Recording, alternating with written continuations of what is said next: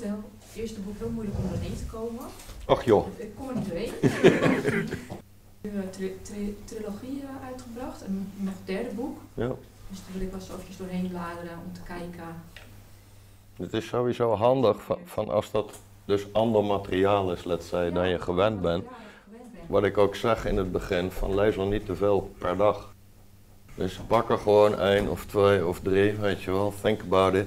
Want we kunnen ze consumeren. Dus je hebt lezen als consumeren en je hebt lezen als werkelijk er een interactie mee aangaan. En gewoon kalm aan.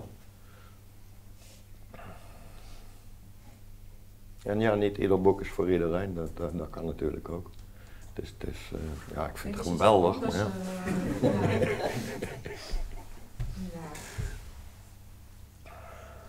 Misschien is de tijd niet voor dit boek, uh, maar ik ben wel benieuwd naar boek 2. Ja, maar het is, niet, het is handiger om dan eerst één te lezen. Ja. Er zit een soort structuur in, al is het tamelijk vrij. Maar als je echt zoiets zou hebben van uh, valse noten 1, ja, ik kan hier niks mee, dan uh, ja, laat maar even. even ja. ja, en er zijn ook nog andere titels die misschien wel uh, aanspreken. Ja, de rest kan meerdere keren hoor, um, ja. dat ik gelezen heb. Okay. Maar ook op e-books en dat is wat moeilijker terug te...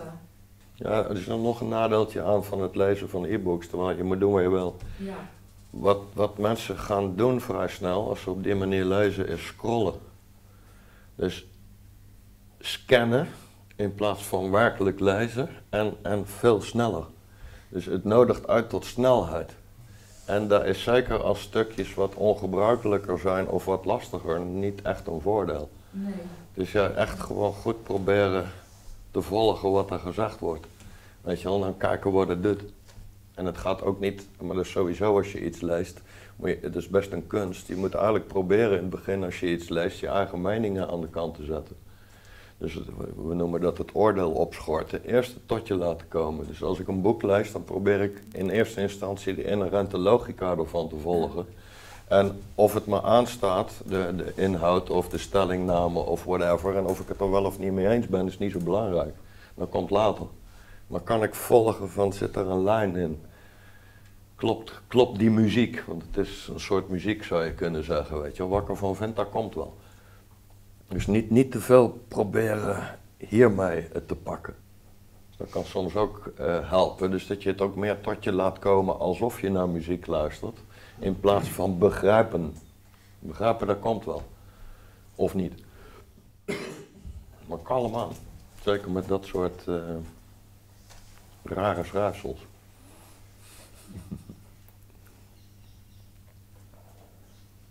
Hoe train je het niet ingrijpen van het ego bij zijn? Um, het is niet alleen maar een kwestie van trainen. Dus één, één component is trainen. Mensen zijn oefenende dieren. Dus proberen je aandacht gewoon bij het zijn te houden. Nou, dan ga je op een gegeven moment merken dat je op een gegeven moment afdrijft. Of dat er iets opspeelt en, en je, je aandacht duikt op een gedachte of een emotie. Nou, dat wil dus zeggen, punt 1, dat we er nog niet zo aan gewend zijn, maar dat er dus ook dingen zijn in het systeem die je aandacht weghalen bij, bij zijn of bij bewustzijn. Daarvoor is het soms nodig om bepaalde dingen te doorvoelen, zodat die de aandacht niet meer zou trekken. Of bepaalde overtuigingen die je erbij weghalen, of, of ideetjes of hang-ups, om die proberen aan de kant te krijgen. Dus vandaar dat ik vaak zeg van dat er basically drie dingen nodig zijn. Overtuigingen opruimen, emotionele uh, residuen doorvoelen en aandacht schenken aan bewustzijn. En dat moet, moeten we dus leren hoe we dat afwisselen. Als ik merk dat een bepaald thema me steeds eruit trekt, I need to go there. En dan moet ik onderzoeken wat de emotionele lading is en wat het verhaaltje daarvan is. En als dat op een gegeven moment opgeruimd is of verzwakt is op zijn minst, zal het me minder daarbij weghalen. You're welcome.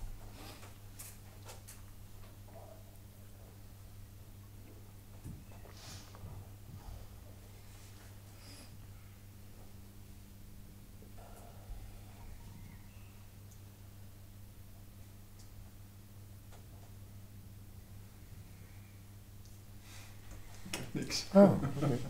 Ik dacht, hij heeft altijd wat te zeggen dan. Ja. Misschien heb je nog eh, andere tips voor het onderwijs. Voor het onderwijs. Ja, daar zou ik eens mee beginnen.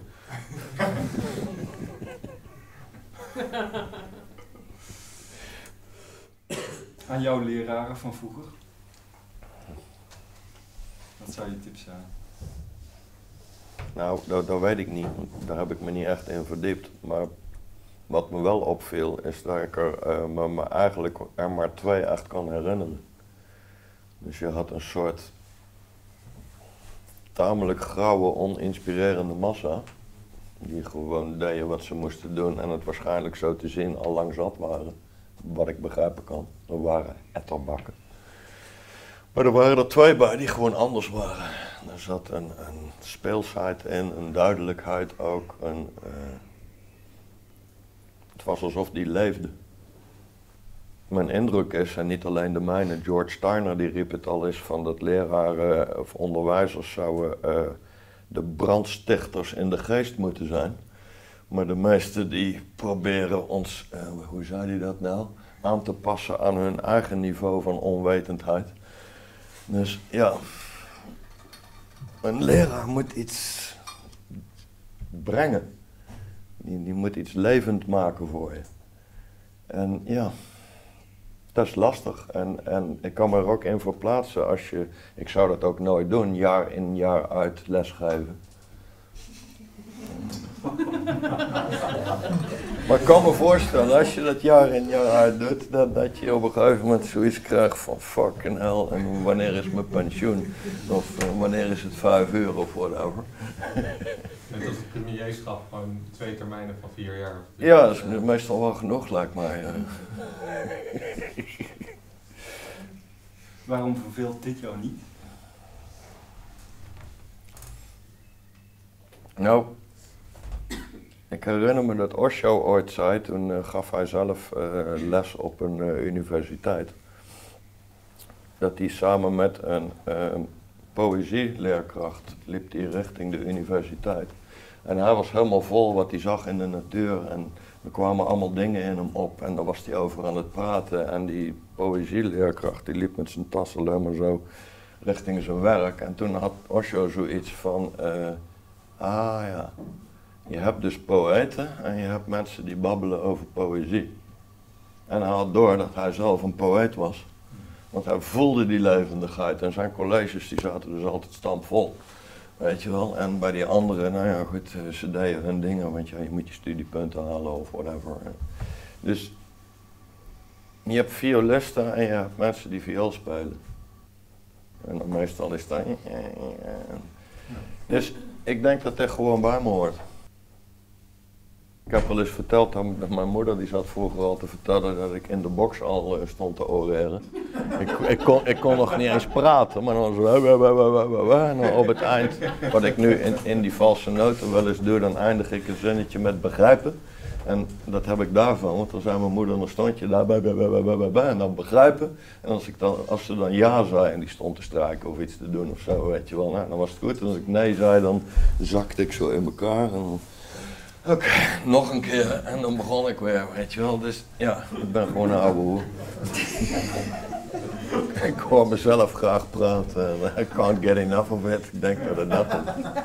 En ik vind het gewoon leuk om, om te interacteren met mensen en te kijken of er iets gebeuren kan. En ik vind het spel leuk. Het ligt ook, ook aan, eh, aan de anderen, toch? Ja, uiteraard, natuurlijk. natuurlijk. En, en als er dus openheid en interesse is en er is zo'n interactie en er is een bereidheid aan alle kanten, dus hier en bij de ander, dat er iets gebeurt, ja, dat vind ik leuk. Mensen die heel erg ehm, afgesloten zijn of te overtuigd van hun eigen gelijk of whatever, dat is gewoon niet interessant. Dan bots je gewoon op een set, ja, op een muur, basically, weet je. Dan denk ik van oké. En dat kan ook, het leuke kan dan zijn of je kan zien of er een achterdeurtje te vinden is. Of, of dat je ze met hun eigen argumenten een beetje eh, klem kan zetten. Gewoon als spel. Dat is dan wel grappig. Maar geïnteresseerde en open lui, die- dat, is interessanter. En, en als ze dan ook nog gewoon het een en ander weten van het een of ander, ja, is fun. Maar wel met mate. Van, hè, ik heb ook vaker gezegd van ik vind het hartstikke leuk om te doen. Zat aan geven zoals in dit geval, maar niet ieder weekend. En dat is natuurlijk in het gewone onderwijs. Je moet gewoon iedere dag, iedere week. Nou, weer een groep. En kan, jullie komen gewoon hier omdat je het interessant vindt. Die kids die daar zitten, die zitten daar omdat ze zo oud zijn en dan in, bij elkaar gedreven worden als vee. Eh, die moeten daar zijn, weet je wel. Dit is, ja, dat is anders. Ja, als ze er toch zijn. Ja, ze zouden kunnen opletten, maar ja, ik moet bekennen, ik deed het ook niet. Dus, eh, ik heb zeven jaar over de HAVO gedaan, dus eh, dat is niet echt snel. Hè? Oh, het is een slimme jongen. Mhm. en snel afgeleid en ongeïnteresseerd. of tenminste zeer geïnteresseerd in dingen die mij interesseerden. En, nou.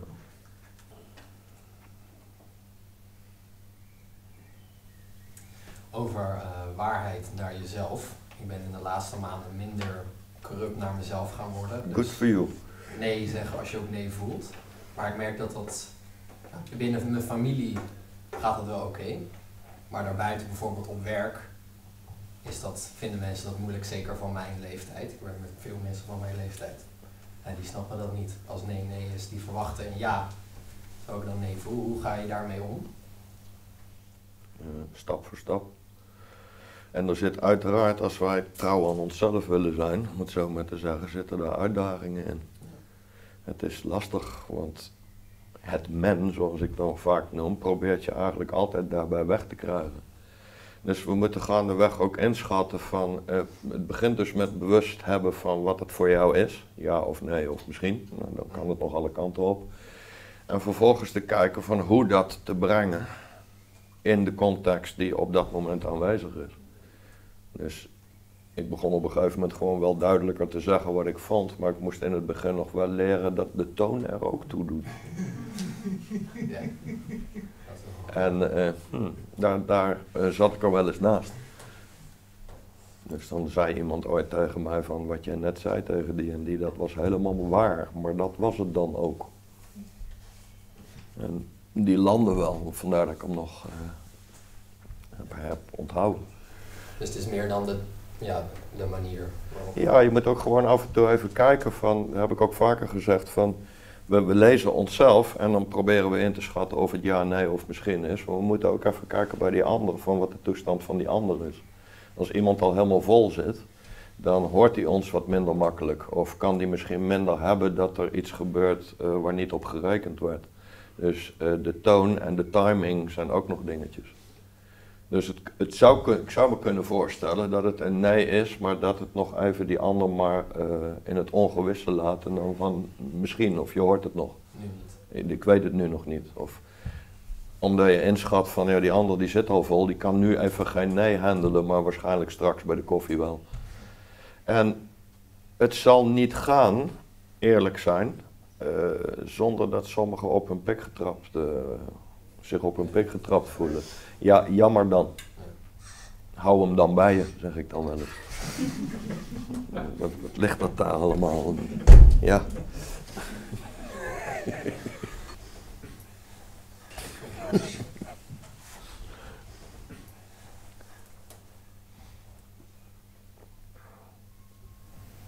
Als mensen op een pik getrapt worden, kun je er ook weer heel veel van leren. Ja, soms. Want soms is het gewoon terecht en soms eh, niet zo. Tot tien tellen vooral reageren. Ja, dat kan, dat kan. Het is soms een heel goed advies, ja. Even wachten. Vooral omdat, maar dat is weer een ander dingetje, omdat anders ook los van of wat we zeggen wel klopt op dat moment, maar er te veel lading mee kan komen. En dan gaan mensen op de lading reageren en niet op de inhoud. En dan hebben ze eigenlijk nog gelijk ook, want ik kan natuurlijk zeggen als iemand iets vraagt, nee, gaan we niet doen, of nee! Ja, dat is toch net anders.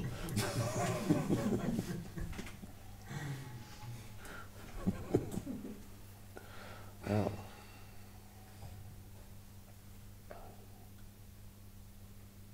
Wat soms ook nog een rol speelt trouwens, als we dus beginnen te veranderen in die zin, is van dat we er rekening mee mogen houden dat anderen, die hebben we een hele tijd voorgewend, dat we op heel veel dingen wel ja zeiden.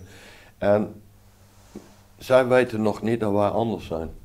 En dat duurt eventjes voordat zo'n eindje, laten we zeggen, die meestal ja zei en nou wordt het ineens de helft van de tijd. Nee, wat krijgen we nou? Het duurt even bij ze om dat te processen en te aanvaarden. En mensen zijn daar vrij traag in, want wat we allemaal doen, en we noemen dat beeldvorming, dus ik maak een beeld van jou, oh, die is zo.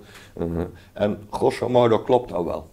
Maar het gevaar is dat het beeld vrij statisch wordt en als daar gewoon groei en verandering in plaatsvindt, dat het niet zo goed wordt opgemerkt. En dat er dan de hele tijd een soort dissonantie is. Als er een toon uitkomt die, ja, maar zo is hij toch niet? Uh, jawel, inmiddels wel, maar het duurt even voordat mensen bijgeschakeld hebben. Dus, ja, oké, gewoon herhalen. Misschien soms iets toelichten. Als daar ruimte voor gegeven wordt. En anders, uh, ja, nogmaals, ja, jammer dan. Dan vindt me maar even niet aardig.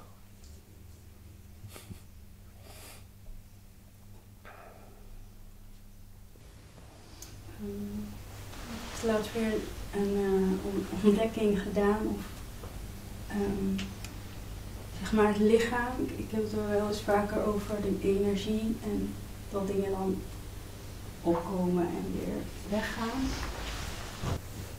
En volgens mij ook wel eens geroepen van hoe kan je weten wat, wat, wat het lichaam is, of zeg maar die sensaties die, die je voelt en tegelijkertijd me bekeken kunnen voelen van, van achter en dan niet weten wat is het nou dat kijkt. En zoveel verwarring en proberen er woorden aan te geven. En zeg maar het proberen te begrijpen, maar het weten dat. En misschien is het ook nog steeds die onge ongeduld, wat wel minder wordt, maar. Mm, ja, ik weet niet of je wat kan met, met het geratel, maar ik zou het wel fijn vinden als je iets wat, wat opvalt is dat je al heel veel elementen tegelijk probeert in, onder een noemer te brengen. En dat is misschien een beetje lastig. Dus dat wat ziet, dat wat kijkt, is gewoon bewustzijn zelf. En je zou dat het stille aspect van je kunnen noemen, wat alleen maar kijkt en voelt. Maar het doet eigenlijk niks. Right? Wat er wordt waargenomen, kan je op een ervaringsniveau uh, voelen als energetische bewegingen. En die kunnen vrij concreet worden, dan worden het emoties of beelden of whatever. Maar het zijn gewoon energetische sensaties en die zijn constant in flux en die, die bewegen dus constant. Dus je hebt een aspect, zou je kunnen zeggen, wat is stil en steeds hetzelfde. En wat er wordt waargenomen is constant in wording of in verandering. Dus dat is een manier om er naar te kijken. En over weten wat iets is, um, we hebben de directe ervaring zeg maar van wat iets is en we hebben vervolgens het verbale, de reproductie ervan. Dat zijn twee verschillende dingen. Dus we kunnen proberen met woorden zo dicht mogelijk bij de ervaring te komen, maar de woorden zijn nooit de ervaring. Dus ik kan op twee manieren proberen te verstaan. Gewoon door te kijken en te voelen. Van oh, zo, zo beweegt dat.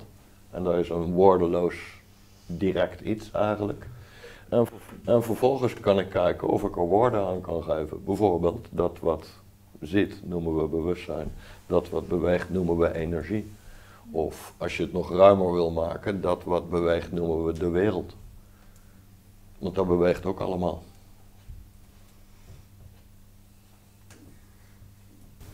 Ja, en zeg maar dat proberen te grijpen, dat maakt eigenlijk een soort van dat niet nodig is. Mm, nou, enig begrip is wel handig, maar we kunnen het overdrijven. Dus het gaat dan meer in, in de mate van druk die we daarop zetten. Ik vind het hartstikke leuk om dingen te begrijpen en dingen te verwoorden. Maar onderliggend is van dat de primaire ervaring altijd nog iets anders is dan de beschrijving.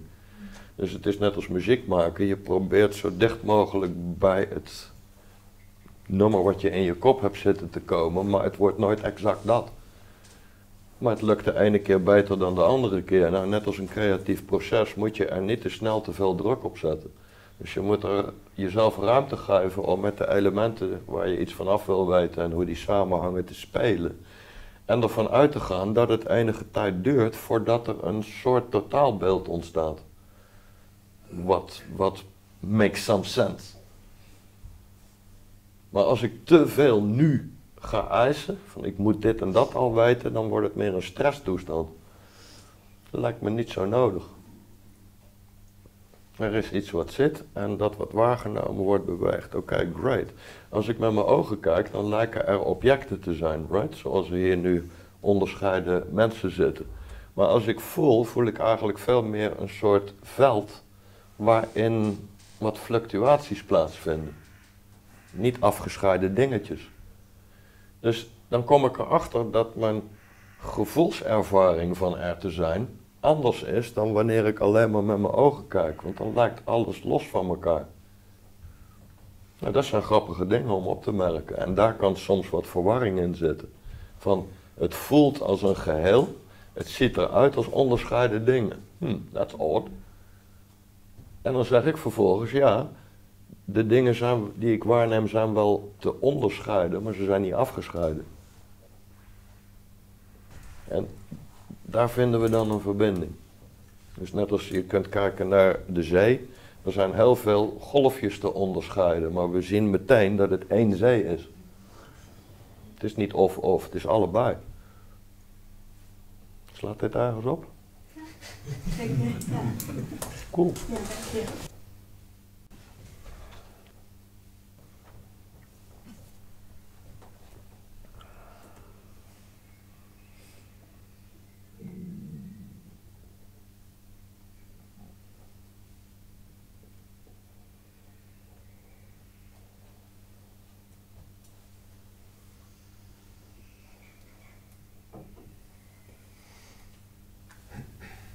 bij het doorvoelen van dingen.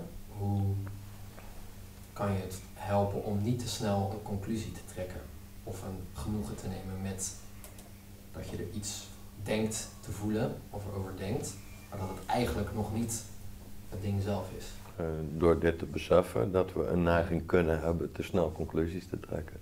En dus de beweging daarin te onderkennen eh, van eigenlijk er vanaf willen ik wil, te, ik wil snel en dat betekent altijd dat ik, ik zoek closure, dat het klaar is. Ik wil er klaar mee zijn. De andere houding is van ik ga kijken en voelen en luisteren tot het klaar is. Dus ik beslis niet wanneer het klaar is, ik weet dat op een gegeven moment. Hoe weet je dat? Doordat er geen neiging meer is om er iets aan te veranderen. Het is je klaar geworden, clarity is ontstaan. En daar is altijd de afwezigheid van er nog iets mee willen.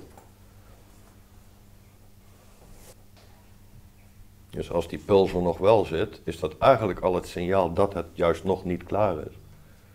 Maar dat ik dat wil.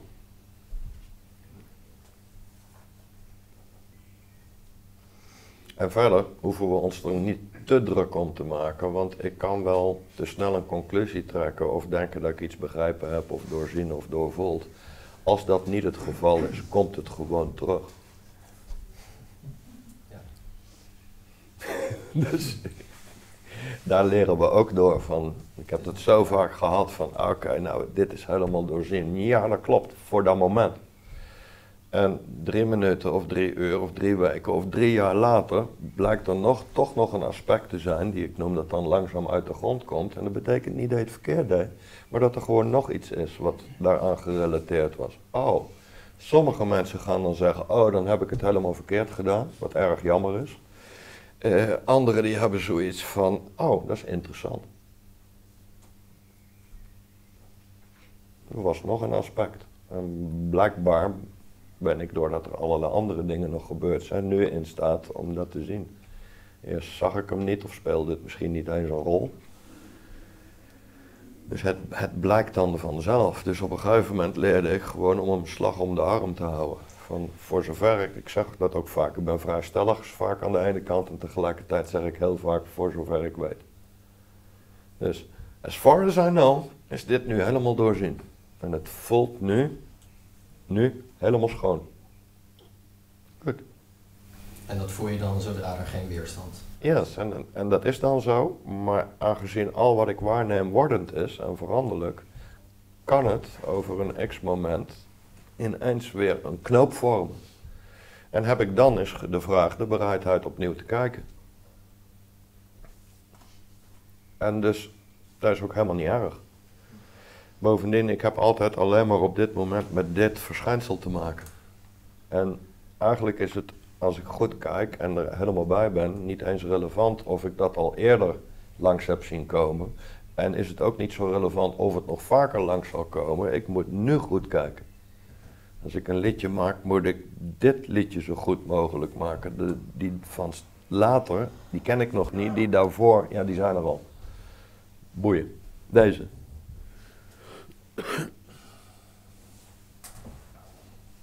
Wat ik komisch vind in dat gebeuren is dat ik heb dan af en toe iets wat komt en dat meteen weggeduwd wordt. Dan weet je, dat werd Ja. weggeduwd toen de tijd. Ja. Dan kom je niet achter wat het is en ik krijg het nooit zo van je bent nu welkom of zo, want het komt en het is baf. En die komt zo af en toe komt die langs. Dat vind ik een heel komisch gebeuren. Ja, dat kan.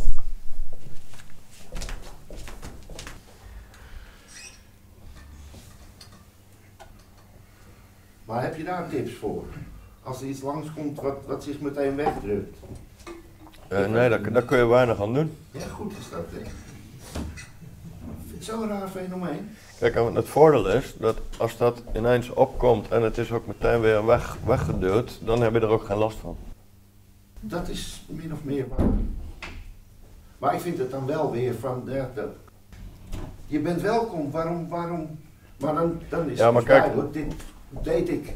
Wat, wat de bewuste geest eh, zegt, dus hè, die heeft misschien de houding van je bent welkom, dat wil nog niet zeggen dat in ons multilayered being, in ons onderbewuste het zo welkom is. Dus ik heb vaker meegemaakt in, in dat zelfonderzoek gebeuren dat ik nou, ook door ervaring en oefening wist van ik kan heel goed voelen, ik kan heel goed kijken, ik kan heel goed luisteren. Dus inderdaad een houding van kom maar. Nou, sommige dingen die wou die gewoon niet voelen. En dat duurde een hele tijd. En dan moesten blijkbaar eerst andere dingen gebeuren, of weet ik veel, of ik moest me verder ontwikkelen. En toen kon het ineens wel. Ja, en wat ik ook zie is dat er een heleboel gewoonte bij zit ook. Sure. Dat blijft zo omdat dat altijd zo ging. Eh, ja, tot, tot het misschien verandert. Ja, ja, ja. Maar dat dan niet op een eh, daarop aangestuurde manier, maar gewoon doordat er wat andere dingen zijn veranderd. Ja, alleen daar merk je dan weer vrij weinig Ja, dat klopt. Dat klopt. Maar dan, dan zou het dus kunnen, net als met dit, dit thema, wat, whatever it is, van dat je merkt dat die komt en dat je verwacht van nou, hij zal wel weer onderdrukt worden en dat het niet gebeurt. Oh ja, dat is een leuke. Oh, oké, nou kan ik er wel bij. Cool, ja. Ik kijk ernaar uit.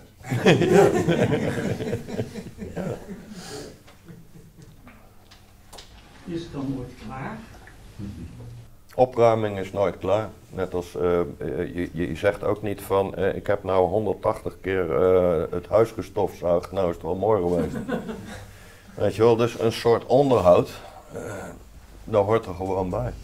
Het is ook niet zo van, van in tegenstelling tot wat sommige richtingen suggereren, van als je nou maar voldoende innerlijk opruimt, dan word je wel wakker. Nee, het is eerder zo van dat na- naarmate er wakkerheid is, de neiging om dingen op te ruimen vrij groot is.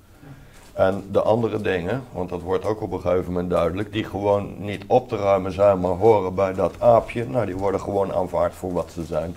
Boeien. Maar volgens mij heb ik ergens dat idee ooit opgepikt. Dat het klaar zou eh, zijn. Nou ja, wa- wat ik, wat ik zag van klaar in de zin van dat je er niet echt meer speciaal voor hoeft te zitten.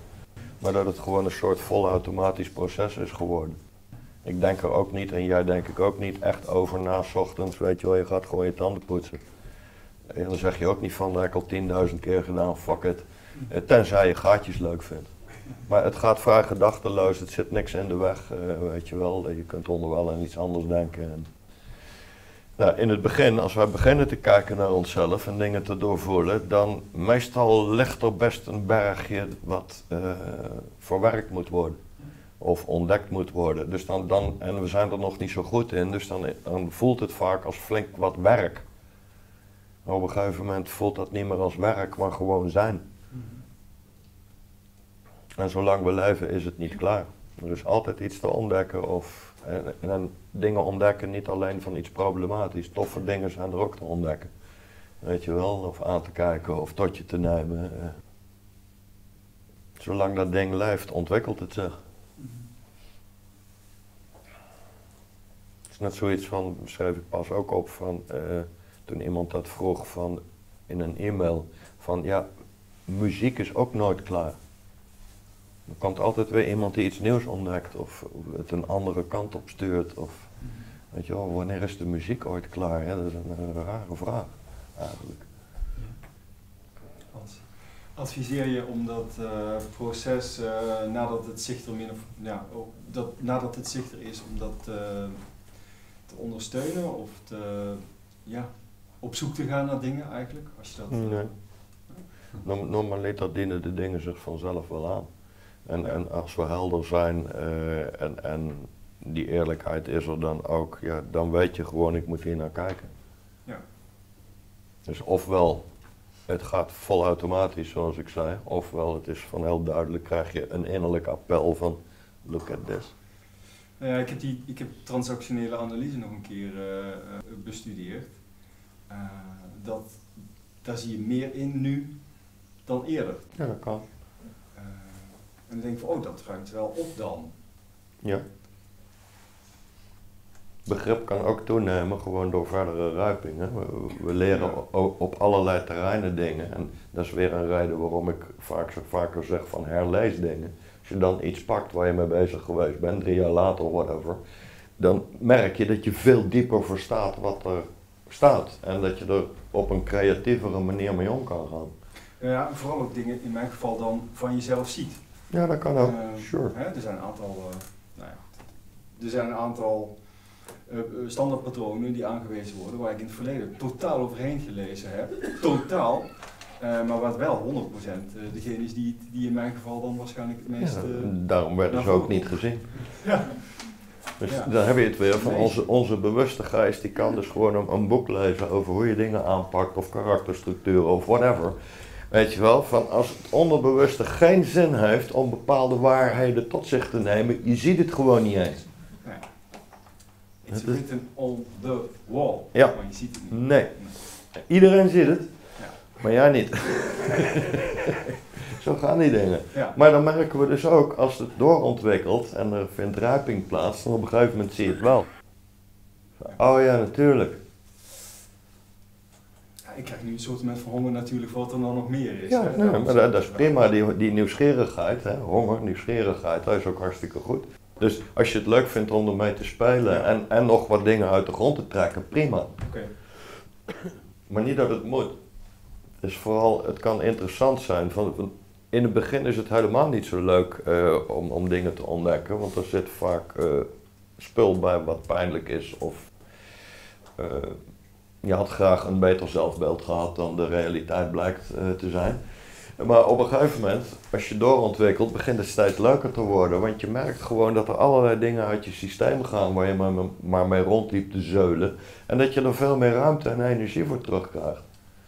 Dus ja, dan krijg je lol in het sloopwerk en, en het confronteren. Maar in het begin is het meestal niet zo leuk.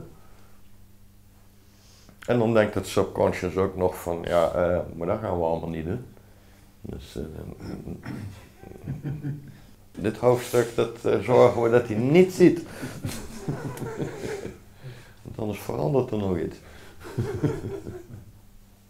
Hans, wat mij opvalt, is dat ik dacht altijd dat eh, om op te ruimen, dat, je het, dat het een projectie moest hebben. Wat is een projectie? Nou, eh, eh, een, een, een, een oud zeer of een herinnering of, of, of wat dan ook. Maar eh, ik merkte dat eh, er ook dingen gewoon alleen maar als gevoel komen. Geen idee waar het ooit is opgelopen of Mhm. wat het betekent of waar het aan vast zit. En dat dat toch gewoon helemaal door het systeem kan gaan en Sure. En we hoeven ook helemaal niet van alles te weten wat het precies is, als we het maar gewoon de ruimte bieden en laten we zeggen, verteren. idee dat het moet ergens opslaan of Ja, dat, maar dat zal het ook wel doen, alleen wij kunnen niet overal bij. Nee. Dus strikt genomen wordt alles onthouden. Alleen onze bewuste geest die heeft maar toegang tot een bepaald deel van wat er in ons brein allemaal gebeurt. Een ander deel, daar kunnen we nooit bij. Dus, dus, en het is verder niet belangrijk. En dat blijft dus. Ja. Dat vind ik wel een ontdekking. Sterker nog, van, soms gaan we veel te veel bezig met waar komt dit gevoel toch vandaan, daar die, daar die, daar. En dan zijn we fijn op een, een zogenaamd analytische manier bezig. Maar ondertussen wordt het nog steeds niet aangekeken en nog steeds niet gevoeld. Dus wat kan mij het schelen waar het vandaan komt? Ik heb nu te maken met een aanval van whatever, verdriet of iets. Weet je wel? Oké, process it. En ik zei altijd al van als het zin heeft om iets te vertellen of te laten zien, dan zal ik het wel zien. Dan komt er een beeld of een herinnering of een associatie of een gevoel of zo. Als dat niet zo is, ook best. Als het maar is opgeruimd. Ja, cool. Ehm, voor mij heb ik een van jouw boekjes gelezen dat eh, het hartstikke mooi is dat, dat die persoonlijke ontwikkeling en tegelijkertijd ook een grote valkuil is. Dat kan, ja. Maar in die zijnstoestand te komen, moet je ook weer niet te veel ermee bezig zijn, want het is zo'n, ja, je kan je hele leven ermee bezig zijn. Yes. Dus vandaar dat ik altijd zeg, twee sporen beleid.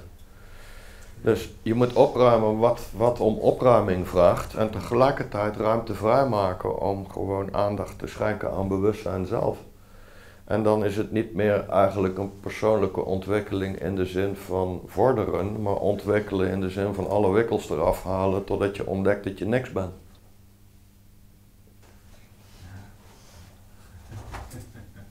Maar de aanvangsroute is eigenlijk altijd hetzelfde. We zullen moeten beginnen met de bereidheid naar onszelf te kijken. En dat begint meestal op een vrij eenvoudig spiritueel slash psychologisch niveau. Maar toch is die eerste stap ook belangrijk. Niet meer dingen vergooidelijken enzovoorts, maar proberen erachter te komen waarom ik doe wat ik doe. En waarom ik bang ben waar ik bang voor ben en waarom ik hecht waar ik aan hecht. Weet je wel, om dat een beetje in beeld te krijgen. Maar daar is een begin. Maar goed, iedereen begint in de brachtklas dus. Bijna iedereen. Toen, toen jij zei van, eh, dat je moet realiseren dat je eigenlijk helemaal niks bent, dacht ja, dag. Want, maar die persoonlijke ontwikkeling is natuurlijk eigenlijk gebouwd om hoe belangrijk je zelf al niet bent. En, Ja, dat, dat is dus het nadeel ervan, van, van dat het een ik-versterkend gebeuren kan zijn. Kijk, maar eens geweldig gegroeid zijn, zeg. Ja. Ja, dan is je ego groter geworden. Ja. en slinkser. Een spiritueel ego is erger dan het gewone standaard bouwvakkers-ego. Die zijn vrij eerlijk en direct en redelijk transparant. Dus het ontwikkelen heeft te maken met gewoon eigenlijk het aan de kant krijgen, dus de, de wikkels, de vervormingen eraf halen, zodat wat het op het niveau van het organisme het gewoon tot uitdrukking kan komen. En dat kon wel eens iets anders zijn dan jij dacht of wilde zijn. En langs de andere route kan blijken dat mijn essentie uit niets bestaat. Dus dat die hele persoonlijkheidsstructuur gebouwd is om leegte.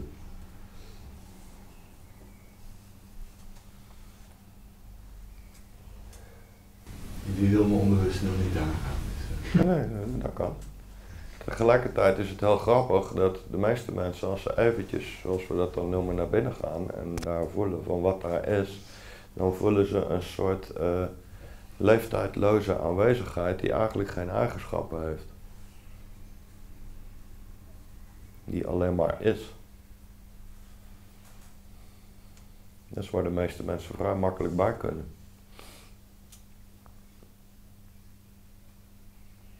En op het moment dat we daar even contact mee krijgen, dan begint meteen al onze persoonlijke belangetjes en hoe ik overkom, begint te kalmeren of weg te vallen. Nou, daar is dat niets. Want waarom heeft het niks op te houden? Omdat het niks is. Terwijl zodra ik denk iets te zijn, dan moet ik de anderen in de gaten houden. Ik moet wel een beetje goed tevoorschijn komen, daar die daar. Ik word een politicus, basically. Maar dat, die leeftijdloze aanwezigheid hier nou, het is, that's it.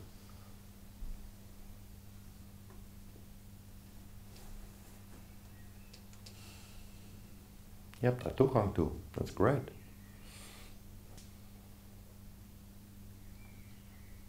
Dus dan krijg je een heel interessant iets. Van, aan de ene kant zit je dingen te ontwikkelen. Oh, dat vind je hartstikke leuk en zo. Weet je wel? En soms moet je gewoon even je de vraag stellen van... eh, en eh, wie ziet al dit eh, geontwikkeld? Ja, geen wie. Het niet ziet dat. Er zit hier zich een niets te ontwikkelen. Isn't that funny?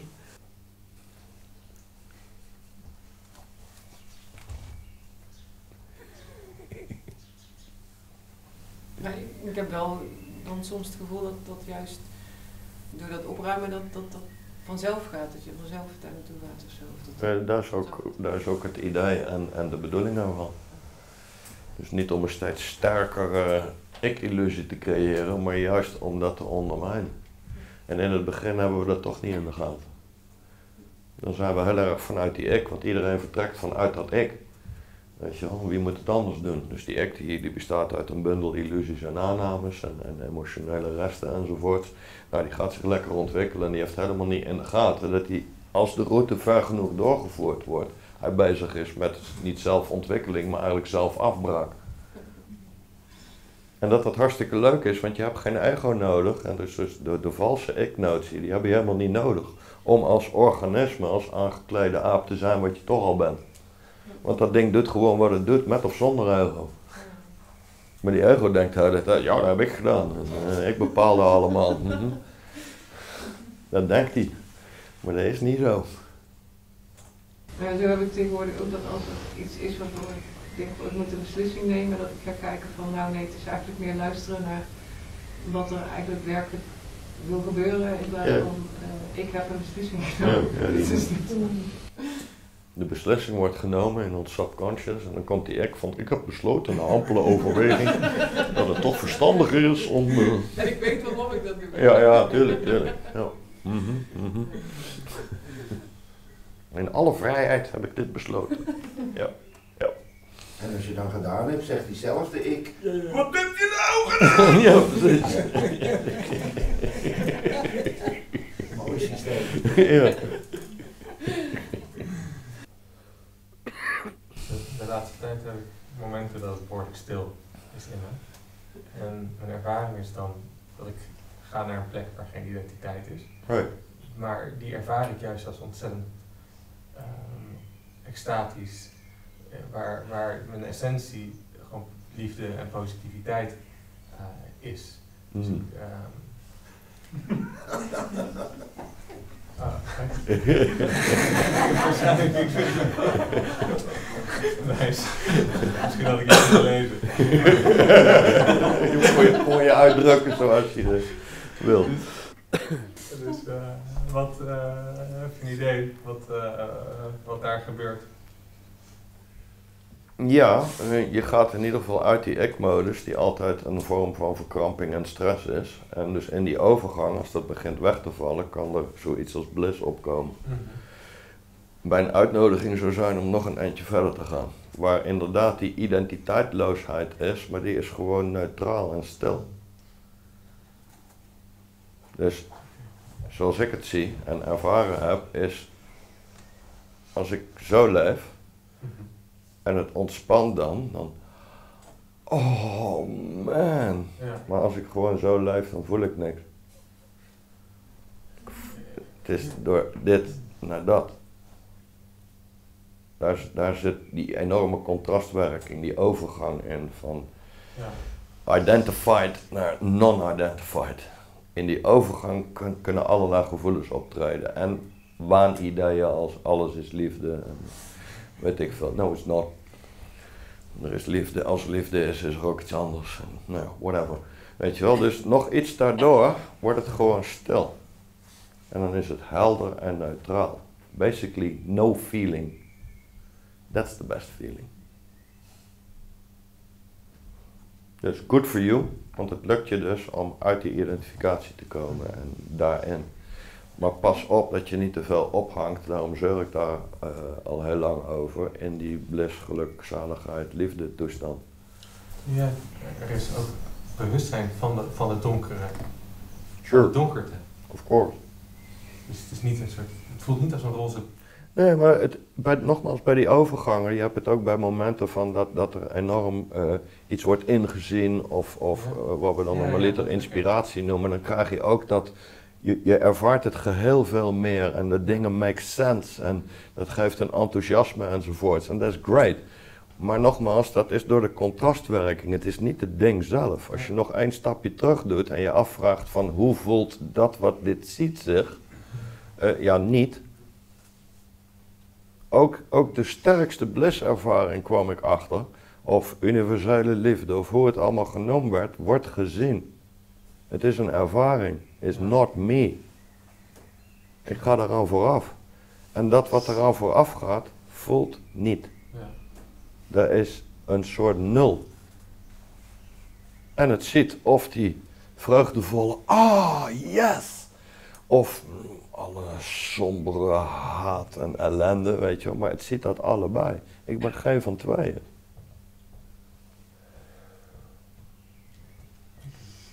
Zie. Ja, je kan. Ja, goed. En dus niet om dat af te wijzen of zo, maar om te voorkomen dat we, dat we gaan denken dat dat gevoel het moet zijn. Of dat dat permanent zou kunnen zijn, want dan krijg je dan ook van de, de verwachting dat er een soort permanente gelukzaligheid. Er zijn geen permanente gevoelens, dat kan niet. Nee. Dus het is een spirituele piekervaring, which is great. Maar als je daar te veel aan gaat hechten, dan, dan zitten daar een aantal risico's aan. Al het andere kan bijvoorbeeld heel vlak gaan voelen. Hmm, that's not good. Ja. Weet je wel? Of we kunnen de verwachting hebben, ik moet de hele tijd zo zijn. Dat gaat niet lukken, dus je gaat teleurgesteld raken. Maar als je net, net even iets teruggaat nog, dan, oh ja, dit is fantastisch. En dan kun je er helemaal van genieten. Zonder je ermee te identificeren of te denken dat dit zo moet. Want we identificeren ons, en niet alleen met dit soort dingen, niet alleen met negatieve dingen, en, en- maar ook met positieve dingen. Mhm. Dan kun je ook door aan de ketting gelegd worden. Ik, ik heb nog één argument wat dan in mijn hoofd afspeelt, waar ik nieuwsgierig ben hoe je daarnaar kijkt. Dat als ik, mijn gedachte is dat wat je ook neemt, als je dat zou ontleden, en in positiviteit en negativiteit, dat er dat de, onderaan de streep, dus altijd, dat, dat positiviteit, dat alles bestaat met de gratie van, van iets wat energie geeft of is, of positief is. Waarom positief? Ja, nou dat het positief als een soort ion of moleculair level dat het energie heeft. Ja, maar dat is niet per se positief. Nee, maar ik qua lading, dat ja. er energie, dat er energie is. Eh, ja, er is energie. Ja, dus.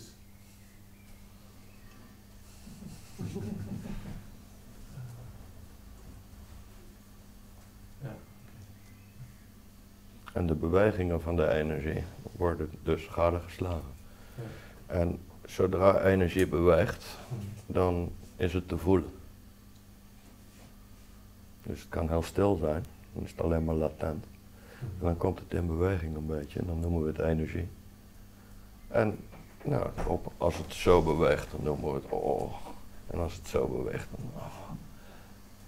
Maar het is allemaal energie. En iets ziet dat. Ja. Iets ervaart dat. Oké, dan, dan op dit moment ervaar ik dat het feit dat ik van energie bewust ben, dat, dat is.